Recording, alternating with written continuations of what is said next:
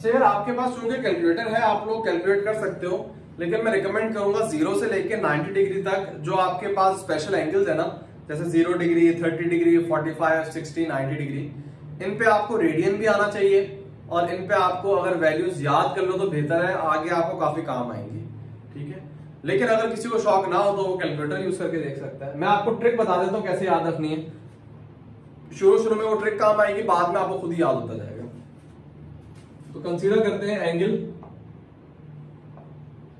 सबसे पहले एंगल जो है, वो हम कंसीडर करते हैं डिग्री के अंदर.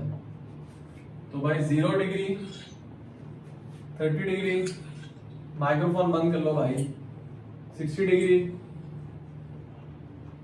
नाइन्टी डिग्री तो ज़ीरो से लेके नाइन्टी डिग्री तक ये कुछ स्पेशल एंगल्स हैं, इन पे आपको याद होना चाहिए. फिर हम बात करते हैं रेडियन के अंदर. रेडियन की कन्वर्जन भी याद होनी चाहिए। ज़ीरो डिग्री ज़ीरो रेडियन के बराबर होता है।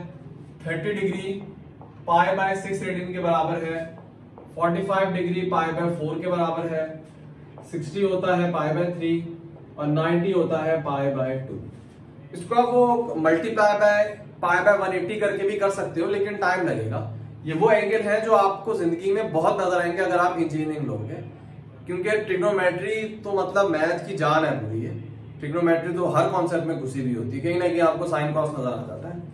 तो ये जो एंगल है काफ़ी काम के एंगल है, इनको याद कर लो तो बेहतर है कि 90 डिग्री कितने रेडियन के बराबर है पाई बाय टू आपको कुछ मल्टीप्लाई कुछ करना ना पड़े। इसी तरह 30 डिग्री क्या होता है? पाई बाय सिक्स होता है। तो एक तो ये चीज़ आपने देख ली। अब इन पे वैल्यूज़ भी देख लेंगे कि साइन की वैल्यू क्या होती है कॉस की क्या होती है कॉट की क्या होती है। ये सब चीज़ें। इसमें ट्रिक है जो साइन के लिए वैलिड है। साइन के लिए आप वो ट्रिक इस्तेमाल करोगे, आपको काफ़ी मज़ा आएगा। ठीक है? वो हम ट्रिक डिस्कस करते हैं यहाँ पे। वो ये है। क्या ट्रिक क्या थी? X अपॉन रूट टू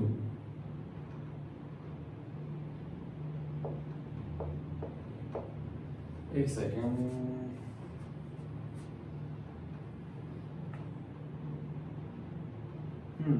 ये था।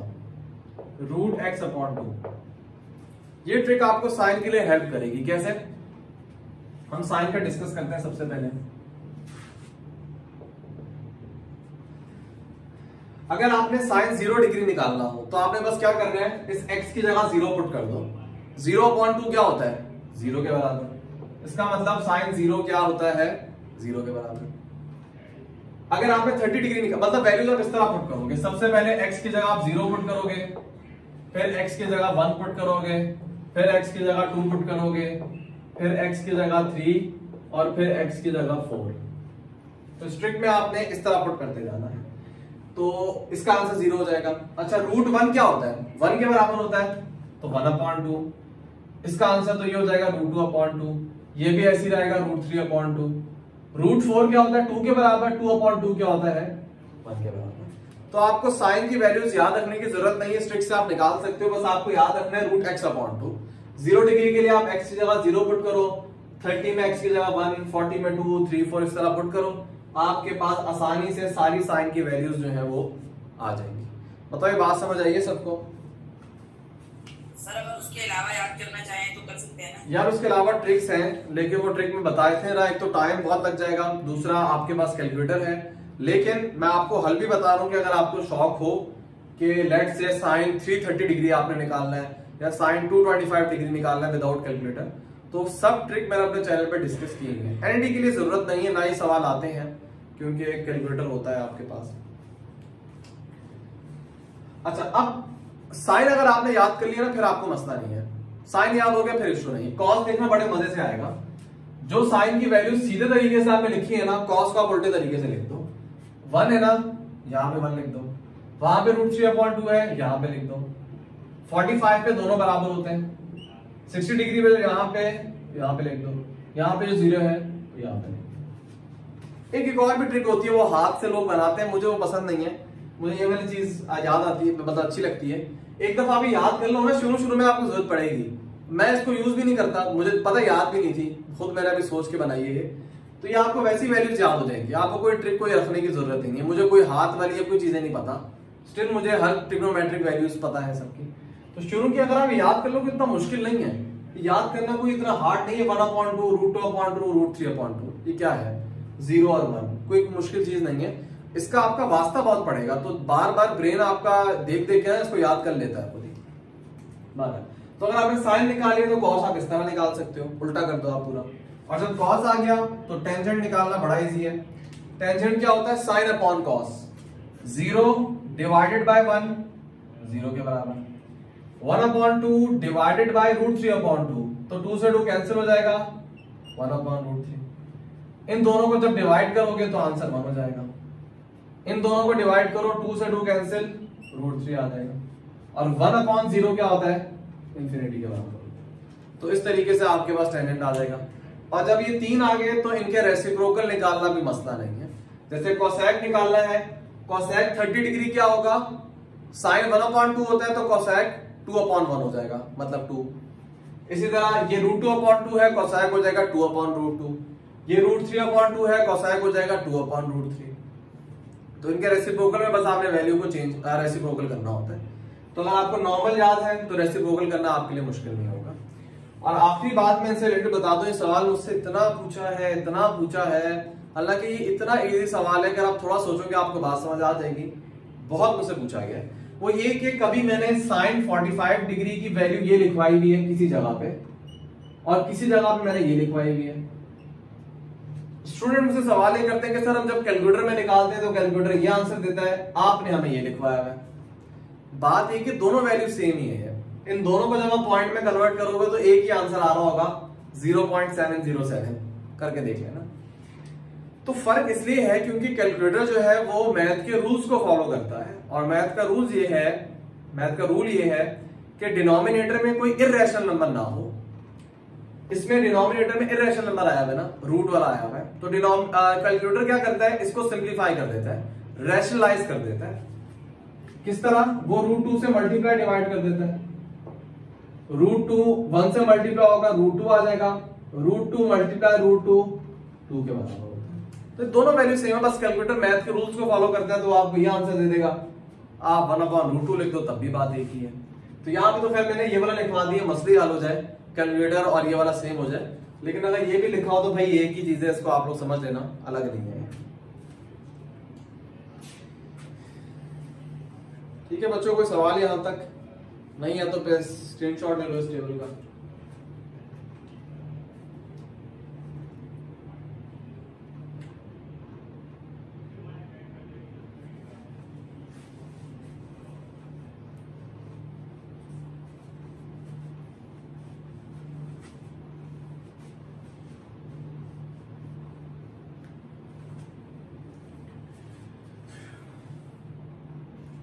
उसके बाद ये आप लोगों की बुक में शायद कॉन्सेप्ट नहीं है ये, लेकिन ई कैट में काम आ सकता है। ये है को टर्मिनल एंगल का। छोटी सी डेफिनेशन है इसकी। को टर्मिनल एंगल्स अच्छा उससे पहले एक और चीज़ पढ़ लेते हैं standard position angle standard position angle उससे पहले एक और चीज़ पढ़ लेते हैं क्वाड्रेंटल एंगल बस ये आखिरी है, इससे पहले कुछ नहीं है। क्वाड्रेंटल एंगल तो सबसे इजी कॉन्सेप्ट है क्वाड्रेंटल एंगल्स का। क्वाड्रेंटल एंगल्स वो वाले एंगल्स होते हैं जो एक्स एक्सिस या वाई एक्सिस के ऊपर है। मतलब जैसे ज़ीरो डिग्री 180 डिग्री इसी तरह 360 डिग्री ये जितने एंगल है एक्स एक्सिस के ऊपर है ये भी क्वाड्रेंटल एंगल कहते हैं। और जो एंगल वाई एक्सिस के ऊपर हो वो भी क्वाड्रेंटल होते हैं। जैसे 90 डिग्री 270 डिग्री ये जितने भी एंगल्स मैंने लिखे हैं सबको आप क्या, कहते हो? क्वाड्रेंटल एंगल क्योंकि ये किसी क्वाड्रेंट में नहीं होते। ये सब एंगल क्वाड्रेंट्स के दरमियान है। जैसे 90 डिग्री फ़र्स्ट और सेकंड क्वाड्रेंट के दरमियान है 180 सेकंड और थर्ड के दरमियान है। किसी क्वाड्रेंट में लाई नहीं करते ये एक्स एक्सिस और वाई एक्सिस के ऊपर लाई कर रहे होते हैं, इनको आप बोलते हो क्वाड्रेंटल एंगल अब आ जाओ इसके ऊपर। स्टैंडर्ड पोजिशन एंगल कौन से होते हैं? तो स्टैंडर्ड पोजिशन एंगल वो होते हैं जिस एंगल का वर्टेक्स जो है, वो ओरिजिन के ऊपर है। जिसकी इनिशियल साइड जो है, ये पॉजिटिव एक्स एक्सिस के ऊपर है। ऐसा एंगल जिसका वर्टेक्स ओरिजिन के ऊपर हो, उसकी इनिशियल साइड जो हो मतलब जहाँ से एंगल बन रहा हो, वो किसके ऊपर हो? एक्स एक्सिस के ऊपर हो। इन अदर वर्ड्स एंगल जहाँ से बन रहा है, वो पॉजिटिव एक्स एक्सिस हो। और दैट्स इट एंगल बन रहा हो टर्मिनल साइड कहीं भी हो। ये टर्मिनल साइड फ़र्स्ट क्वाड्रेंट में भी हो सकती है सेकंड में भी हो सकती है थर्ड में भी हो सकती है। तो अब ये जो एंगल बना है ना, इस एंगल को आप क्या बोलोगे? स्टैंडर्ड पोजीशन एंगल कौन सा एंगल जिसका वर्टेक्स ओरिजिन पे initial side positive X axis के ऊपर है और टर्मिनल साइड उसकी मूव कर रही है, चाहे फ़र्स्ट क्वाड्रेंट में और थर्ड क्वाड्रेंट में। तो ये भी स्टैंडर्ड पोजीशन एंगल है। अच्छा। ये भी स्टैंडर्ड पोजीशन एंगल बन जाएगा, क्योंकि वर्टेक्स ओरिजिन के ऊपर है। और बाकी आप देख लो इसके अंदर। और स्टैंडर्ड पोजीशन में शर्त नहीं होती, आप क्लॉकवाइज ही बना सकते हो। तरह भी कर सकते हो। ये भी स्टैंडर्ड पोजीशन ही होगा। इनिशियल साइड एक्स एक्सिस के ऊपर है वर्टेक्स इसका ओरिजिन के ऊपर है। आमतौर पर कुछ टीचर इसको अलग करवाते हैं, लेकिन कोई अलग नहीं है। एंटी क्लॉकवाइज हो या क्लॉकवाइज हो, दोनों में आप स्टैंडर्ड पोजीशन ही कहते हो। नॉर्मली ऑब्वियसली आप ये यूज़ करते हो एंटी क्लॉकवाइज आप यूज़ कर रहे होते हो नॉर्मली आप। लेकिन इस वाले केस में भी आप इसको स्टैंडर्ड पोजीशन ही बोलोगे। क्योंकि शायद देखिए वर्टेक्स ओरिजिन पे हो, और initial side positive X axis के ऊपर हो, ये शर्त है और आखिरी है कोटर्मिनल एंगल। अब कोटर्मिनल एंगल पे आ जाओ ये बहुत इजी कॉन्सेप्ट है कि जैसे यार एक स्टैंडर्ड पोजीशन एंगल आपने ले लिया 45 डिग्री का, ये पूरा एंगल 45 डिग्री का। तो ऐसा कौन सा एंगल है जिसकी सेम यही टर्मिनल साइड हो? जैसे ये आप गए हो एंटी क्लॉकवाइज अगर मैं क्लॉकवाइज जाता हूँ मतलब पहले मैं गया था एंटी क्लॉकवाइज अगर मैं क्लॉकवाइज जाता हूँ तो ये एंगल कितना होगा?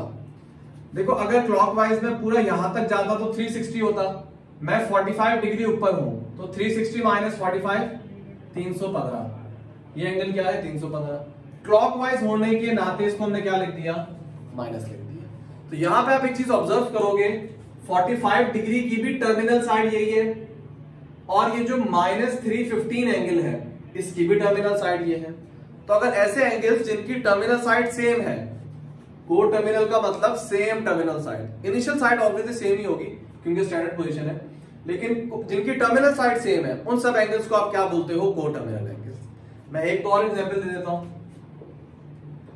सवाल ये है कि भाई ये एंगल है थर्टी डिग्री अगर मैं आपसे बोलूँ कि बताओ इसमें को टर्मिनल एंगल क्या होगा तो आप डिफरेंट तरीके से निकाल सकते हो को टर्मिनल कहने का मतलब आप इस तरह, पहला तो इस तरह निकाल सकते हो कि आप ये पूरा हो जाएगा 360 फिर आप ऊपर जाओ। तो ये क्या हो जाएगा 390 मतलब आप फुल रोटेशन करने के बाद दोबारा ऊपर आए हो। तो ये एंगल क्या 390 तो 390 भी कोर टर्मिनल एंगल हो जाएगा। या अगर आप क्लॉकवाइज आ रहे हो इस तरीके से तो क्लॉकवाइज क्या होगा? माइनस थ्री डिग्री तो ये भी कोर टर्मिनल एंगल है, क्योंकि सब एंगल्स की टर्मिनल साइड जो है वो सेम है। बाकी आप को टर्मिनल एंगल इनफाइनाइट निकाल सकते हो आप रोटेशन करते जाओ। जैसे मैंने पहले वाले में एक रोटेशन की थी आ, मतलब मैं यहाँ से स्टार्ट हुआ था जाते जाते जाते दोबारा मैं यहाँ पे आया था 390 डिग्री बन गया था। अब मैं दोबारा घूम के यहाँ पे आ जाऊँगा दोबारा 360 ऐड कर दो एक और को टर्मिनल आ जाएगा तो आप इनफाइनाइट निकाल सकते हो। और क्लॉकवाइज में आप क्लॉकवाइज जाओ और यहाँ तक जाओ तो आपके पास 330 डिग्री होगा लेकिन नेगेटिव आप लगा दोगे। तो वो आ, ये भी को टर्मिनल एंगल बन जाएगा। तो ये बड़ा फ़ेमस एमसीक्यू ये भी आ सकता है कि मतलब आपको बोले कि माइनस फोर्टी फाइव डिग्री का को टर्मिनल एंगल बताओ। अब माइनस फोर्टी फाइव का को टर्मिनल कैसे बताओगे? सबसे पहले आप ड्रॉ कर लो। 45 डिग्री ऊपर होता है लेकिन नेगेटिव है तो मैंने क्लॉकवाइज बनाया है। तो ये माइनस फोर्टी फाइव डिग्री है। अब इसका आ, आपने निकालना है को टर्मिनल एंगल ऑप्शन में क्या लिखा होगा? 315 या लिखा होगा 405 डिग्री या लिखा होगा 45 डिग्री ये सब लिखा। या लिखा होगा माइनस तीन डिग्री अब इसमें से इसका कौन सा को टर्मिनल है तो सिंपल सी बात है इसका को टर्मिनल क्या है? अगर आप क्लॉकवाइज जाते हो तो ये पूरा एंगल क्या होगा? 315 तो 315 जो है वो इसका को टर्मिनल एंगल है। आ, ये था क्लॉकवाइज अगर आप एंटी क्लॉकवाइज आओगे तो एंटी क्लॉकवाइज जो एंगल है 315 इसकी भी टर्मिनल साइड ये वाली है। बाकी जो एंगल है वो यहाँ पे को टर्मिनल नहीं होंगे। क्योंकि दूसरा एंगल लिखा हुआ है 405 डिग्री 405 डिग्री, ये वाला एंगल होगा कि ये 315 है, ये 360 है, और फिर 45 डिग्री ऐड करो। तो 405 डिग्री एंगल वो यहाँ पे आ रहा होगा कि पूरा 360 में आप 45 डिग्री ऐड करो तो ये 405 है। तो दिखने में लग रहा है ये अलग एंगल है, इसकी टर्मिनल साइड अलग है, ये तो को टर्मिनल नहीं हो सकता। इसी तरह 45 डिग्री जो है, वो भी को टर्मिनल नहीं है, क्योंकि 45 डिग्री ये वाला एंगल होता है। तो ये भी को टर्मिनल एंगल नहीं है। असल तो को टर्मिनल ये होता है कि जिसकी ये वाली साइड होती है। इसी तरह माइनस तीन सौ पंद्रह, उसकी भी अगर माइनस तीन सौ पंद्रह बनाओ तो इस तरह बनेगा। तो ये जो माइनस तीन सौ पंद्रह फोर्टी फाइव डिग्री और चार सौ पाँच, ये आपस में को टर्मिनल है। ये तीनों एंगल जो है ना, ये आपस में को टर्मिनल है। जबकि माइनस फोर्टी फाइव डिग्री का को टर्मिनल कौन सा है? तीन सौ पंद्रह, वो मैंने आपको बताया था एंटी क्लॉक क्लॉकवाइज आके बनाया ठीक है?